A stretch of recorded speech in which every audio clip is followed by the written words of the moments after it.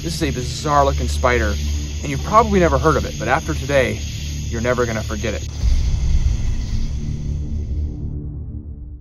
My name is Spencer and welcome to my wild backyard. Today we are looking for some of the strangest invertebrates you can find here in the southeast US. And uh, one of the things I don't do enough of is exploring after dark. And if I'm looking for unusual animals, I'm gonna have to resort to unusual tactics. And what better place to look for bizarre nighttime creatures than right around my house. Once the cover of night falls, a whole new world awakens. Bizarre creatures emerge from hiding to carry out their secret lives under cover of darkness. The best way to find these creatures is to brave the night and head out, shining with a flashlight, hoping to see some of these incredible, elusive creatures.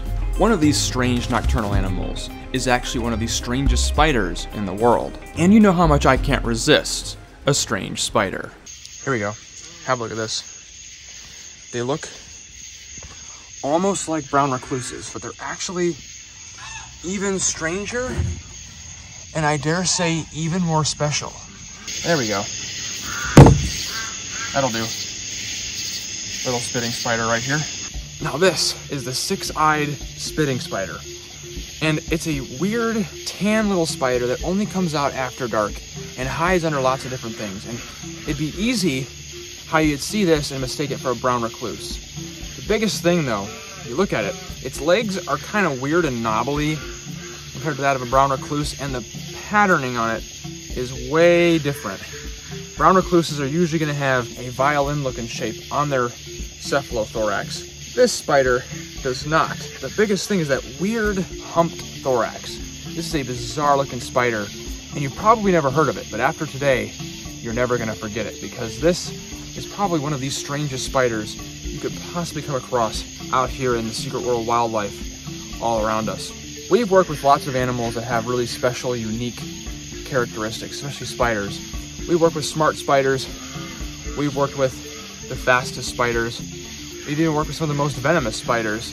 But this, this animal right here has probably one of the most unique biologies of any arachnid you've ever seen. And it's where it gets its name, the spitting spider.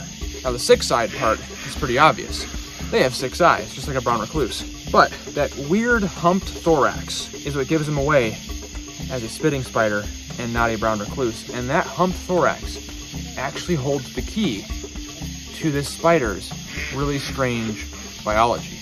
Most spiders only have their silk glands in their abdomens or their opisthosomas. And this spider is no exception to the fact that it has silk glands in its abdomen, but it also has two silk glands packed inside its big ol' head, and that is why its head is so bulbous and weirdly humped like that. They might be asking, Spencer, why the heck would this spider want to have silk glands in its head? And that is where it gets really strange. See, this spider has silk glands that are attached to its venom glands, and they feed through its fangs, which essentially creates this pressure system that allows it to spray web. But it doesn't just spray web. See, that would make the spider weird, sure, because there aren't any spiders besides spitting spiders that spray web. But the spitting spider takes it one step further in terms of being one of the strangest spiders on the planet. The webs that it sprays are actually combined with this spider's venom. So when this spider sprays web, it's not just shooting web, it's shooting venom-laced web. And that is how it subdues its prey. It sees a prey item and it'll shoot two streams of venom-laced web right out of its fangs. The prey has no chance to react and doesn't even know what hits it until it's covered with this sticky, paralyzing fluid. What I'm hoping to show you in just a second is how they actually spray it. Because it's not just used for hunting. That ability is also used for defense. See, as you can tell here, the spitting spider is not the fastest nor most agile spider.